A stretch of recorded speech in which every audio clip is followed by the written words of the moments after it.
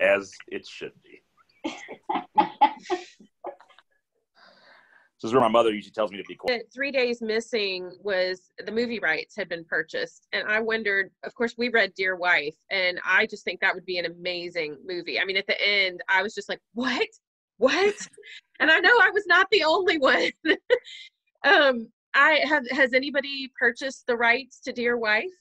Yes, they have. Yeah, Yay! we haven't. Oh. Yeah, I know.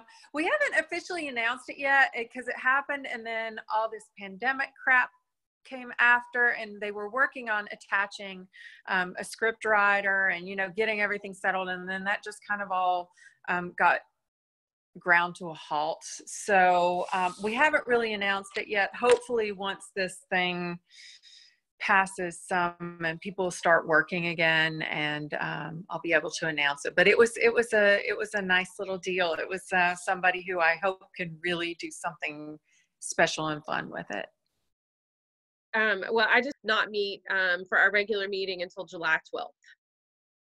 And that's becoming Mrs. Lewis, if you didn't get the get the word on that. All right, everybody. Thank you so much. Have a great rest of your day. Thanks for joining us. Bye.